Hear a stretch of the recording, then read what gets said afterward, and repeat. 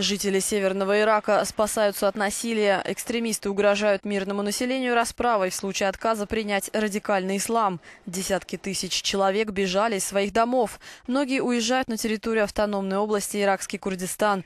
Шиит Али Ритха направляется в город Сулеймания. Экстремисты захватили наш город. Они выступают против шиитов, против суннитов, против христиан, против езидов. Они захватили наши дома. Мы призываем правительство Ирака, региональные власти в Курдистане и международные международное сообщество, спасите нас. Сотни иракцев, в основном езиды, бежали в турецкую провинцию Шернаку в Анкаре за закрытыми дверями. Премьер-министр Турции Реджеп Таип Эрдоган обсудил с членами правительства ситуацию в Ираке. Наблюдатели отмечают, что на данном этапе Турция не склонна участвовать в боевых операциях, а будет заниматься обеспечением безопасности на границе и гуманитарными миссиями.